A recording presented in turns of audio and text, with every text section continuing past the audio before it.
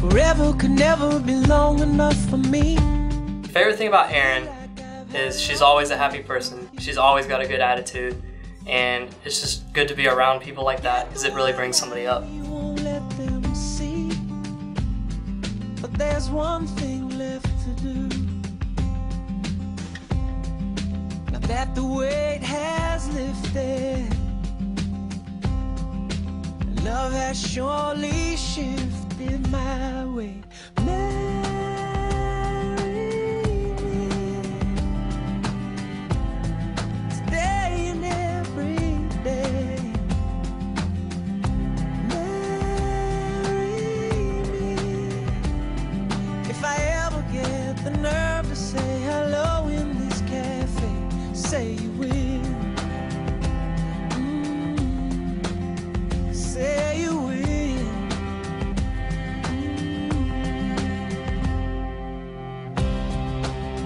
Could never be close enough for me to feel like I am close enough to. You